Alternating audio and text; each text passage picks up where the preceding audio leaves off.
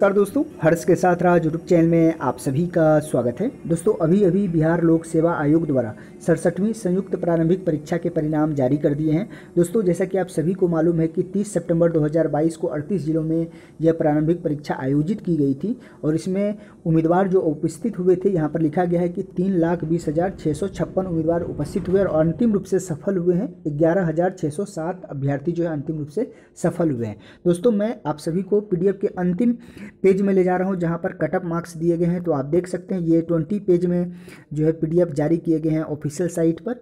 तो cut up marks की बात करें तो आप यहाँ पर देख सकते हैं, अनरिजर्व कैटेगरी में 113 मार्क्स है, अनरिजर्व फीमेल में जो है 109 ईडब्ल्यूएस में 109 ई डब्ल्यू एस फीमेल में 105 एससी कैटेगरी में जो है 104 एससी फीमेल में 93 एसटी में 100 एसटी फीमेल में 96 ईबीसी में जो है 109 ईबीसी फीमेल में 102 बीसी में 109 बीसी फीमेल में जो है 105 बीसीएल में जो है 103 कटअप है। और दिव्यांगजनों में आप देख सकते हैं वीआई में 94 डीडी में 89 एच में one hundred five M D में 71 और फ्रीडम फाइटर में जो है 103 तो दोस्तों बी पी एस सी के इतिहास में सबसे अधिक कटअप जो है सड़सठवीं में ही गया है तो आप देख सकते हैं, ये कटअप मार्क्स है।